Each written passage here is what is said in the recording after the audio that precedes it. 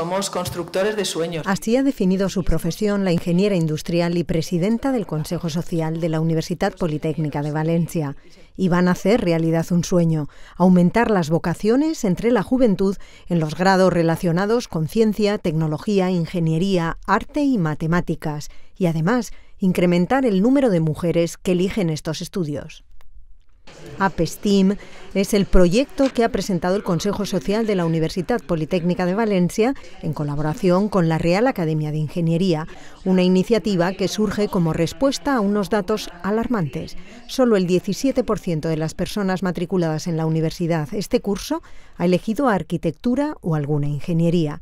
Las carreras técnicas son las que más futuro laboral están teniendo, pero son las menos demandadas. Los perfiles más solicitados en el 2017 fueron expertos en Big Data, robótica y ciberseguridad.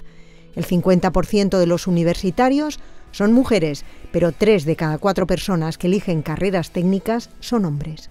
Consideramos que es un deber y responsabilidad como Consejo Social que, nuestro, eh, nuestro ADN es ser ese nexo de unión entre universidad, empresa y sociedad y luego además porque somos el Consejo Social de la Universidad Politécnica de Valencia, con mucha más razón. ¿Quién está suministrando ingenieros al mundo? Dos países, India y China. Producen 400.000 al año. O nos ponemos las pilas o nos vamos a quedar sin ingenieros, sin distinción de género. Así que se han puesto las pilas y ha surgido esta iniciativa que consta de dos fases. Un programa de mentoring ingenieras senior tutelan a ingenieras noveles junior y estas ingenieras junior, como decía la presidenta, son las que van a tutelar a estos equipos.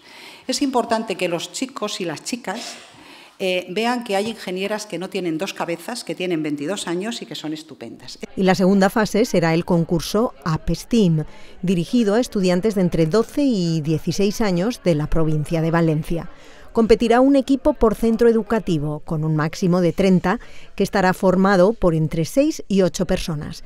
La mitad deben ser mujeres y la portavocía también será femenina. Cada equipo recibirá un kit de fabricación y deberá resolver un problema.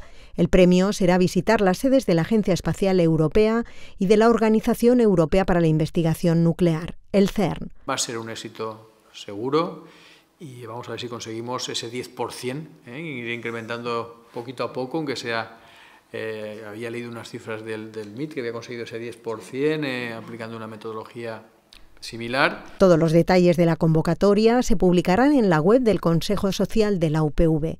La iniciativa ya se ha puesto en marcha en la Comunidad de Madrid y de Castilla y León.